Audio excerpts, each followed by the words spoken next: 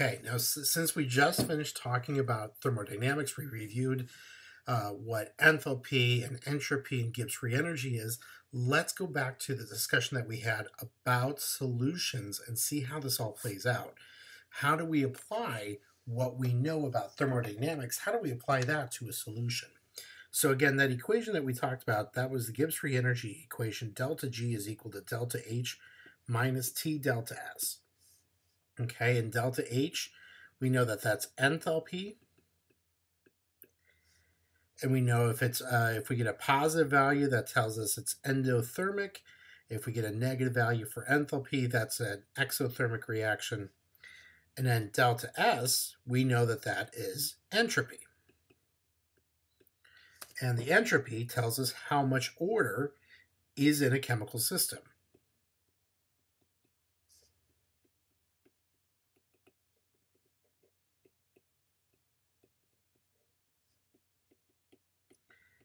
Okay, and, and so we want to know randomness.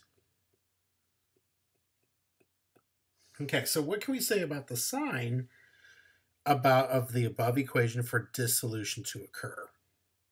Okay, so if we want a solid, if we want a crystal to break apart and release ions, we need delta G to be negative. Okay, so we need delta G to, G to be less than zero because we need this process to be spontaneous.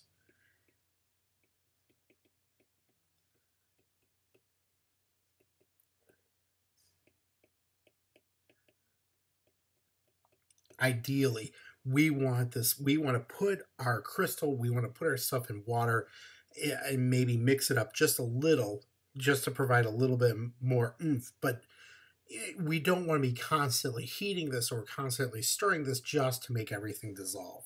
Okay, so now that we know that we want delta G to be negative, let's talk about each of these other terms in that equation. So you have the delta H, you have the enthalpy. So remember, enthalpy could be positive, which means that heat is being absorbed.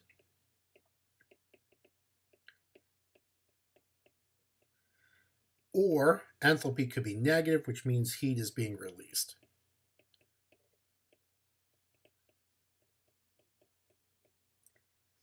Okay. And also, uh, delta S, the value for delta S, it's generally positive. Most of the time it's positive. There are a couple occasions where it's negative, and we'll talk about that in a minute. All right, so we have this figure right here that could help us describe what's going on. So we've got two different types of solutions one solution is on the top, one solution is on the bottom. So in the first solution, you have a solid solute, a liquid solvent, and so you mix it together. So both of these, the solid solute has a lot of order to it. Okay, so the S, the entropy here would be negative. You have a liquid where the liquid, there is, I mean, it is in a container, it is pretty ordered. It has no other atoms or no other no other materials in there except the liquid that we're dealing with. Okay? But when you mix these two together and make a solution, the entropy becomes positive, so it becomes more random. Okay?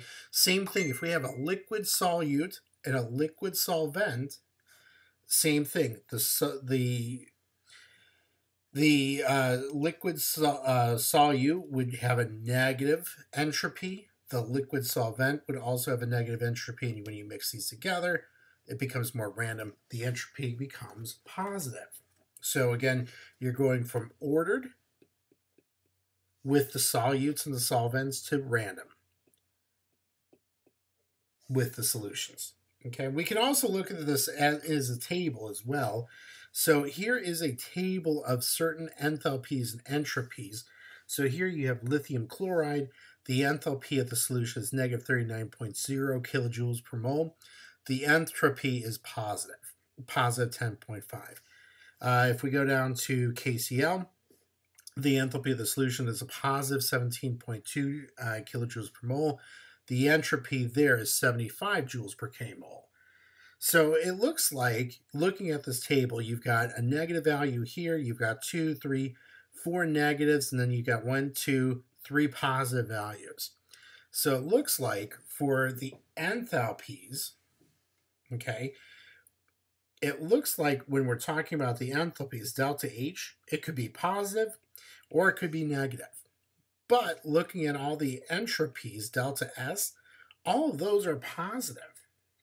Okay, so what can we say about the relative magnitude of these terms? Uh, as we're looking at the sheer numbers for the enthalpies, they're pretty much positive and negative. They're they're pretty much in the same ballpark. For the entropies of solution, same thing. They're they're between or they're between 10 to it looks like the 89 is the highest number. So what can we say about the relative magnitude of these terms? They're similar to each other, but keep in mind the units. So the units for for enthalpy is kilojoules per mole. The units for this, the entropy is going to be joules per k mole. But since delta S is really joules per k mole, the delta S will actually be smaller. So while the numbers look to be about the same, you know, about the same, you know, relative ballpark, in actuality, because one is dealing with joules and the other is dealing with kilojoules, the entropy is going to be the smaller one, smaller of the two. So as we can see from this table, uh, what experimental param parameter can be used to indicate the, the sign of the first term? Well, that term, temperature. Temperature can be used. Okay. Now, as you can see from this table, not only are the enthalpy vari- charges uh, changes variable with no discernible pattern, some are positive and some are negative. Okay, and so what we're going to do next, now that we've talked a little bit more about thermodynamics, let's go back to the interactions that we talked about either before. We talked about solute-solute interactions, solvent-solvent interactions, and solute-solvent interactions. How does that all play out together along with everything that we talked about with thermodynamics? So let's now talk about the three types of interactions that we have. We can have solute solute interactions, solvent solvent interactions, and then solute solvent interactions. So we're going to go with the weakest and then move to the strongest. So let's talk about solvent solvent interactions first. So what can we say about the sign of this interaction as part of the heat of the solution? Well, we can say that the change in enthalpy, uh, when we're talking about the heat of the solution, it should be positive. So it's going to be endothermic. Okay. Now, we want to give a molecular level description of what this parameter represents. And what we're talking about at this level is that we're, we're separating the molecules. So we have separation of molecules. Now, what what parameter is responsible for this term? So the separation of molecules, how does that happen? It's because of intermolecular forces. So what we're trying to do at this level is to disrupt the intermolecular forces between the solvent molecules and solvent molecules. Okay, so that's what we're seeing at solvent-solvent interactions. What about solute-solute interactions? Okay, so what can we say about the sign that this interaction is part of the heat of the solution? Well, delta H, the enthalpy again is going to be positive. Okay, so, so this is again another endothermic value. Okay, now give a molecular level description of what this parameter represents. Usually if we're looking at a uh, if we're looking at solutes, you and we go back to our example of sodium chloride in water, that in that sense, those those are ions that we're dealing with and not molecules. So here, what we're talking about is a separation of ions. What parameter is involved or responsible for this? Now think again, going back to the sodium chloride in water uh, example. When that sodium uh, sodium chloride crystal is breaking apart, those sodium chloride ions are kept together, are held together by ionic bonds. So we're trying to break the ionic bonds. So if you guys remember back in Gen Chem 1, the uh, that's lattice energy. Lattice energy is the, the amount of energy that we need to break one mole of solid ionic crystals into their respective ions. Okay, so what parameter is responsible for this term? Lattice energy. All right, so now let's talk about the biggie solute solvent interactions. All right, so what can we say about the sign of this interaction as part of the heat of the solution? This time, the enthalpy is going to be negative, so this is going to be an exothermic portion. Okay, so we want to give a molecular level description of what this parameter represents. This is hydration. So this is where your solute is going to interact with your solvent. Now, what parameter is responsible for this term? All right, so again, you had ions for solute solute. You had molecules for solvent solvent interactions. So now what we want to look at for solute solvent interactions, this is going to be ion dipole interactions.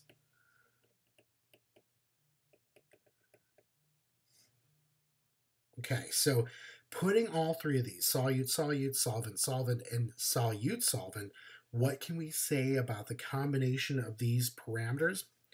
Well, first off, it depends.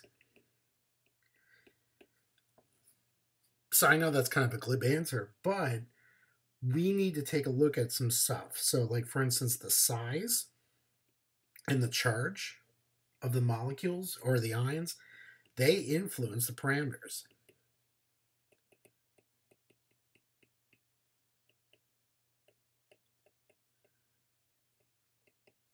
Okay, so this figure below is actually a graphic representation of what we just looked at. Okay, so here's our figure that here's our image.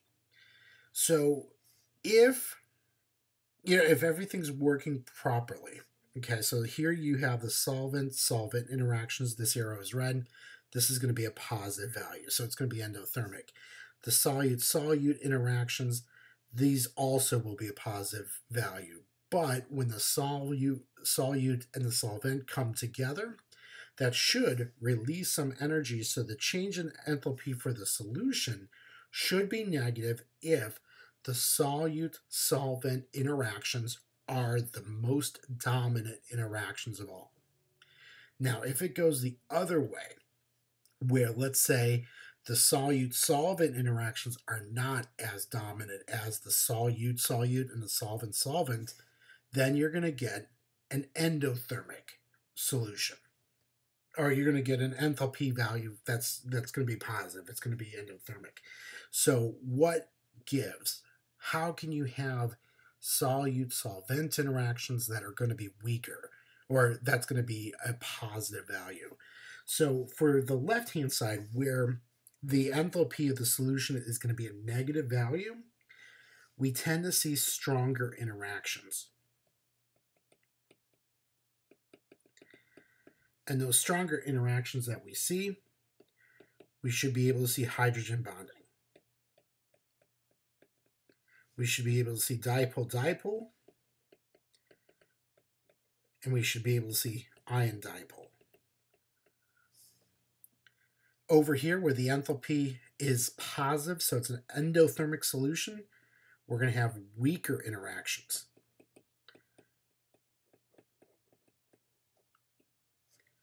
So we tend to see London dispersion forces.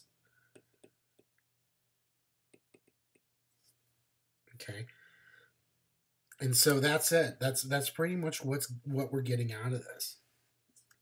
That the stronger the interactions, so if we have hydrogen bonding dipole, dipole, ion dipole, usually we've got some sort of polar solvent that's interacting with an ion or another polar molecule. We tend to have a, a we tend to have an exothermic solution or the enthalpy of the solution is going to be exothermic. If we have a weaker interaction like London dispersion, solvent solute interactions are going to be the weaker and they're not going to be as dominant. So that means the enthalpy of the solution is most likely going to be endothermic.